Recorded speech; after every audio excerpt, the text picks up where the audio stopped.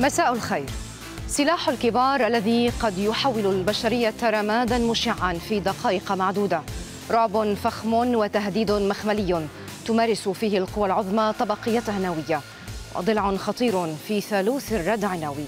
فبجانب الصواريخ الأرضية والقاذفات الجوية على اليابسة هناك تهديد لاستمرار الحياة وبقائها مطمور تحت المياه.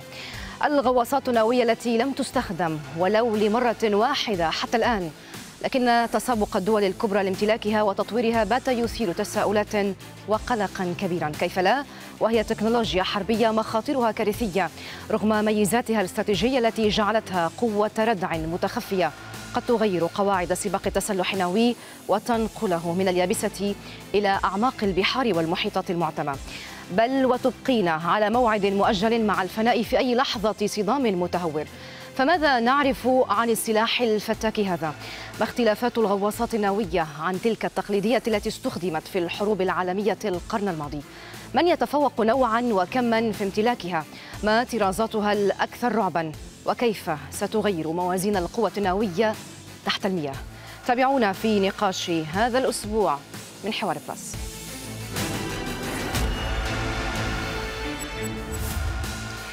لمناقشة هذا الموضوع أرحب بضيفتي من واشنطن المتحدثة السابقة باسم وزارة الدفاع الأمريكية السيدة دانا وايت ومن بكين الصحفية السيدة سعاد يايشين هوا أهلا بكما إلى حوار بلس في هذا الأسبوع. قبل أن نبدأ حوارنا دعونا مشاهدينا نتوقف مع معلومات عن أنواع الغواصات النووية التي طورتها بعض الدول التي تتسابق على الاستحواذ عليها.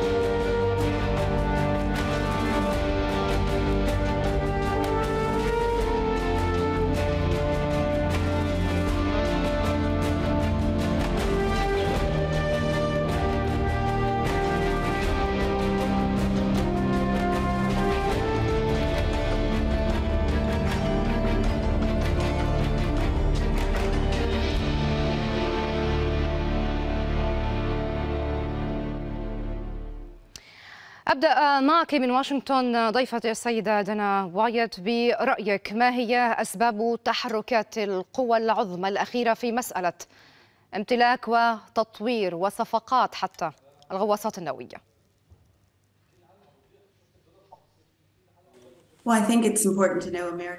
أعتقد أن أمريكا تظل القوة العظمى الكبرى وهي لا تداهى من حيث قوتها العسكرية. ومع تلك الإعلانات عن ما يحدث في الخليج العربي والمنطقة. الولايات المتحدة الأمريكية تسير غواصات إلى مناطق مختلفة وكان أمر غير مسبوق أنها أعلنت عن تسيير غواصة مؤخرا. ولذلك أود أن أكرر وأقول أمريكا تظل الكبرى من حيث الحرص يعني على استقرار هذه مسألة أخرى سنستعرضها من خلال هذا النقاش ولكن ما قصدته أكثر بهذا التساؤل لماذا كثر مؤخرا الحديث عن صفقات الغواصات النووية؟ السبب هو استعراض القوة وكذلك أن يكون هناك جلب للأرباح ملايين ملايين الدولارات تستدرها المصانع التي تصنع الغواصات.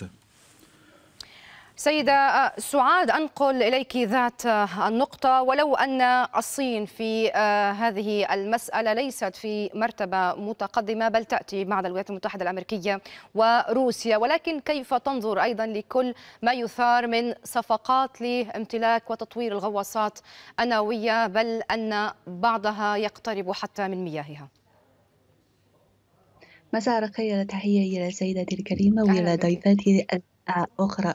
أعتقد أن الصين قد أكدت لمرارة أنها تعارض الصفقات النووية بين دول وتلتزم بعدم انتشار الأسلحة النووية. كما نعرف أن الصين تعتبر آه، من أول الدول آه، التي تتعهد بعدم البدء باستخدام الأسلحة النووية. وكذلك أن الصين قد تعهدت بأنها لن تستخدم الأسلحة النووية وتحدد آه، الدول الأخرى التي لا تملك الأسلحة النووية آه، يعني باستخدام آه، هذه الأسلحة. وكذلك يمكن نلاحظ أن الصين تحافظ دائما المستوى الأدنى المستوى الضروري الأدنى لحماية الاحتياجات الضرورية لضمان الدفاع الذاتي في يعني بشأن الأسلحة النووية. ولن تشارك التسلح السباق التسلح مع الدول الأخرى التي تملك الأسلحة النووية. مثلا يمكن نلاحظ أنه فور إعلان يعني اسمح لي سيدة سعاد هي لن تسابق أم هي غير قادرة على منافسة الولايات المتحدة الأمريكية وروسيا في آه هذا الأمر؟ الصين الآن تمتلك 19 غواصة نووية. كيف تكون لا تشترك في سباق التسلح النووي تحت المياه هذا؟ طبعا يعني أنا الصين آه، تمتلك الأسلحة النووية ولكن هذا من أجل الدفاع الوطني فقط كما نعرف أن الصين يعني لم تشار يعني أنها أعلنت لمرار أنها لا تشارك في أي آه، سباق التسلح مع الدول الأخرى التي تملك الأسلحة النووية.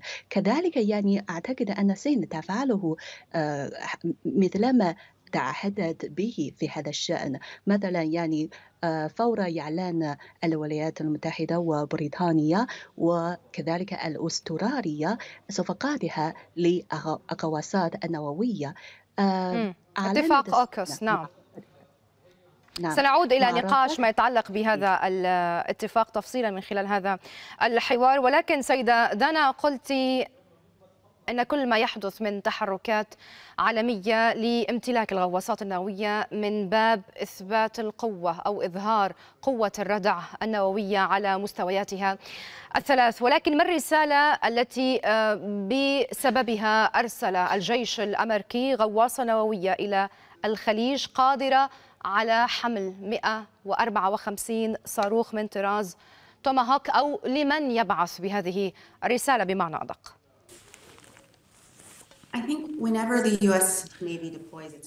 كلما تنشر البحرية الأمريكية قواتها فهذا ضمان للتجارة البحرية. وكذلك البحرية الأمريكية تضمن حرية الملاحة في بحر الصين الجنوبي أيضا.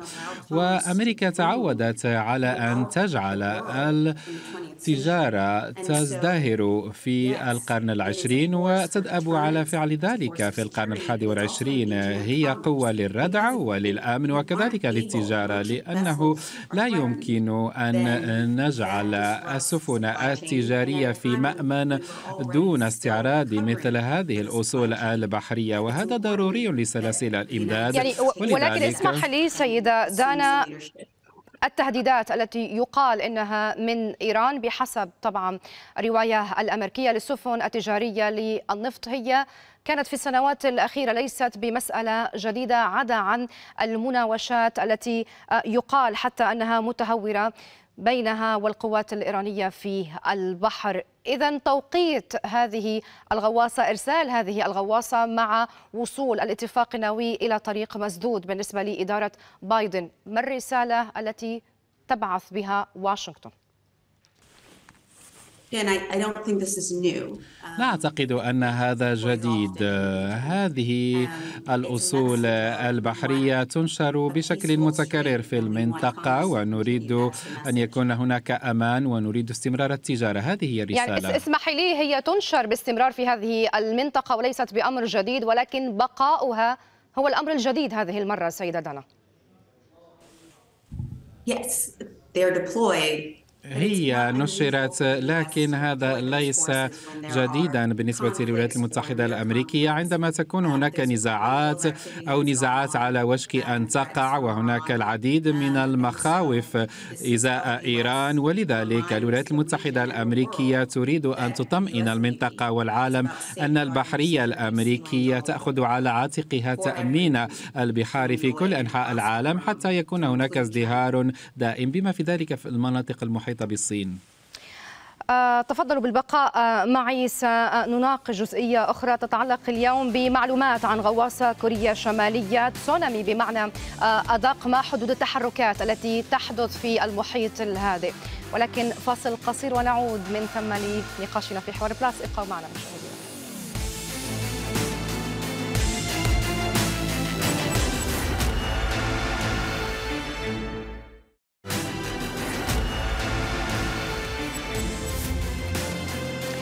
أهلا بكم من جديد. وقبل متابعة النقاش دعونا نتوقف مع بعض المعلومات حول الغواصات التي تعمل بالدفع النووي.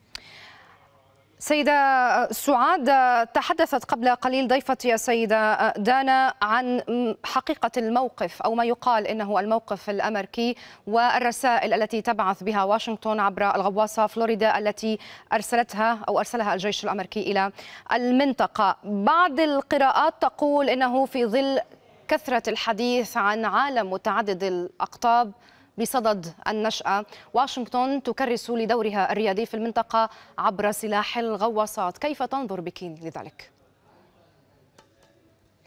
طبعا في هذا الشأن آه، آه، تلتزم الصين دائما يعني بتعددية في نطاق العالم. يعني يجب على الأطراف المعنية أن تلتزم بإنشاء هيكل متعدد الأطراف في شؤون آه، في نطاق العالم وفي الشؤون الدولية.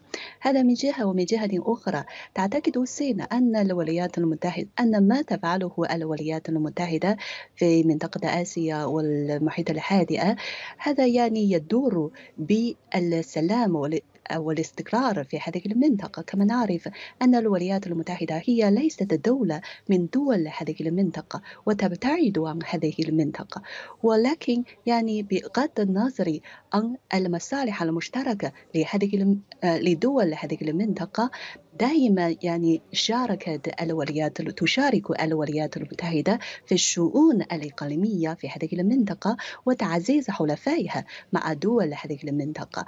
مثل اليابان وكوريا الجنوبية وكذلك يعني تعزيز حلفائها مع الفلبين لإنشاء القواعد العسكرية في جزر الفلبينية وكل ذلك باعتقادي للصيني أن ذلك يدور بالسلام والأمن في هذه المنطقة. وكذلك يمكن نلاحظ أن ما تفعله الولايات المتحدة هدفها واضحة يعني يهدف يستهدف آه، الصين لإحتواء الصين وتتويق الصين من خلال تعزيز حلفائها مع الدول المجاورة للصين. وأعتقد ذلك يعني أولا يجب علينا أن نعرف أن آه، كل هذه الأعمال من آه، من حيث التعاون التبادلات الطبيعية بين الصين ودول هذه المنطقة غير مفيدة. وكذلك يمكن نلاحظ أن ذلك يعني من حيث العسكري يدور بتوازن بين توازن واستقرار في بين دول هذه المنطقة. سيدة دانا ولو أن المعلومات شحيحة جدا عن الغواصة الكورية الشمالية تسونامي ذات القدرات الهجومية النووية والتي تجري عليها تجارب هذه الأيام كوريا الشمالية. ولكن بيونغ يانغ تقول أن المناورات العسكرية الأمريكية مع سول تضع العالم على شفا حرب نووية قادمة. هل تعمد واشنطن كما يقال هذه المرة إلى إثارة القلاقل في منطقة المحيط الهادئ. كلا ليس هذا على الإطلاق. الولايات المتحدة الأمريكية بصرف النظر عن الإدارة الموجودة الديمقراطية أم جمهورية؟ فإنها تسعى دائما إلى بسط الاستقرار والسلام في منطقة المحيطين الهندي والهادي وهي موجودة هناك منذ الحرب العالمية الثانية وهي فقط تسعى إلى تقوية علاقاتها مع حلفائها في المنطقة مثل الفلبين وكوريا الجنوبية واليابان. وتذكروا أن الولايات المتحدة الأمريكية تتعاون مع هذه الدول. وهناك قوات وجنود أمريكيون هناك. ولذلك عندما نفكر في الوجود الأمريكي هناك فهو لضمان أمن المنطقة وهذا يضمن أيضا ازدهار هذه المنطقة على حد سواء. من وجهة النظر الأمريكية على الأقل. على كل حال أتوقف الآن ضيفتي مع نتائج استطلاع الرأي الذي أجريناه على منصات سكاي نيوز عربية الرقمية حيث سألنا فيه متابعينا مع تسارع وتيرة المناورات في شرق آسيا. هل تتوقعون مواجهة قريبة بين الصين والولايات المتحدة الأمريكية؟ 70% أجابوا بكلا مقابل 30% قالوا نعم نتوقع مواجهة قادمة.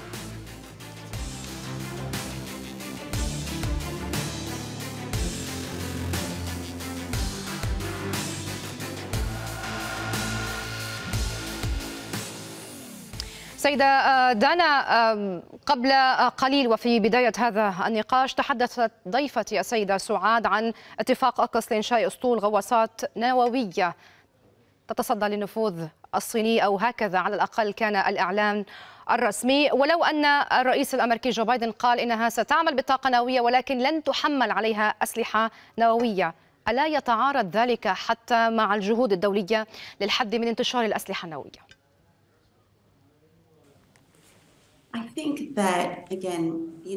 أعتقد أن وجود أمريكا في المنطقة ليس جديدا للعالم وليس جديدا للصين. وحتى قدراتها غير جديدة للعالم. ويجب أن ننظر إلى ما حدث في الأعوام القليلة السابقة بسبب استفزازات الصين بسبب ما فعلته في بحر الصين الجنوبي في تايوان.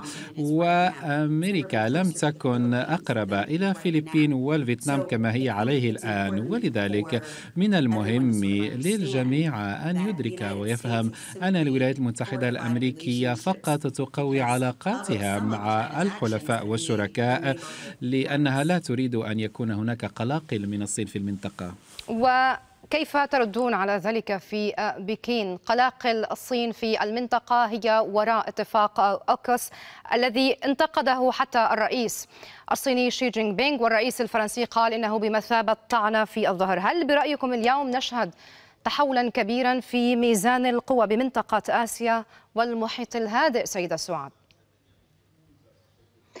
أولا أريد أن أرد على ما ذكرته ضيفتنا الأمريكية.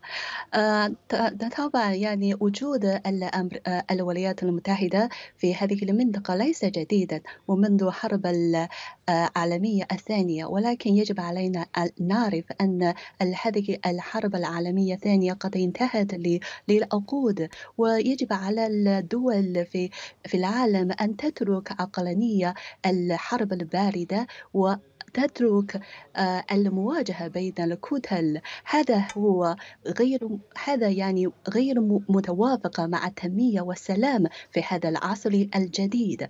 كما نعرف أن الولايات المتحدة هي ليست الدولة من دول هذه المنطقة. فلماذا هي يعني هي برأيها على الأقل تقوم بحماية الديمقراطيات في العالم ومسألة تايوان ليست ببعيدة. قبل يومين فقط كانت القوات الصينية تنشر سفن في محيط الجزيرة ومياهها. كذلك عشرات من الطائرات هناك. ألا يعد ذلك أيضا تدخلا في شؤون أخرى؟ تجد واشنطن نفسها مجبرة على أن تأخذ فيها جانبا سيدة سعاد.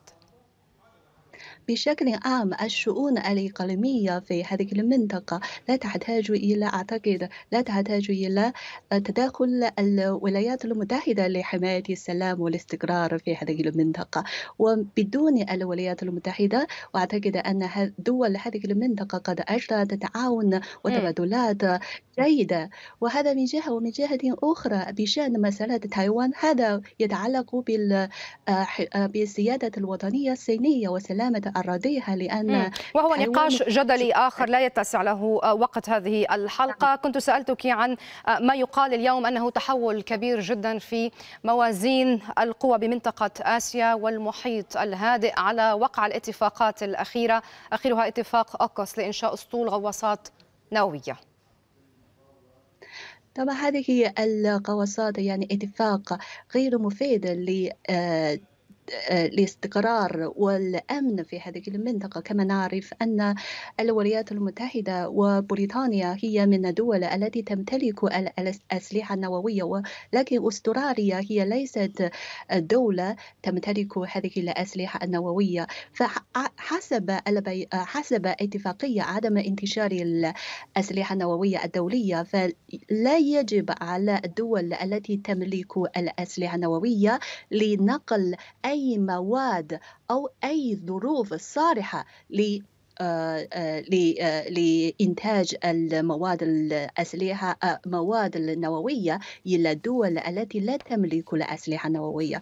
ولكن يعني كما نعرف أن هذه الغواصات النووية وصفقات الغواصات النووية تخالف مفاد ومبادئ عدم انتشار أسلحة نووية لا شك أن ذلك يدور باستقرار والسلام النووي في هذه المنطقة كما نعرف أن نعم. أستراليا هي دولة يعني لا يوجد أي تهديد من الدول الأخرى بحولها. لماذا يعني تستخدم وتحتاج إلى لا تحتاج إلى يعني شراء الغواصات النووية من الولايات يعني ولو أن الصين. أيضا تقوم بشراء هذه الغواصات وذكرت لك في آه، تقدمة هذه الحلقة أنتم تملكون 19 غواصة نووية في هذه المرحلة فقط. على الأقل أخيرا هنالك مسألة واجبة التوضيح سيدة. آه، دانا هنالك قراءات في طهران تقول إنها تدرس شن هجمات على السفن الإسرائيلية بالمنطقة ردا على الغارات الإسرائيلية بسوريا والتي أدت لمقتل اثنين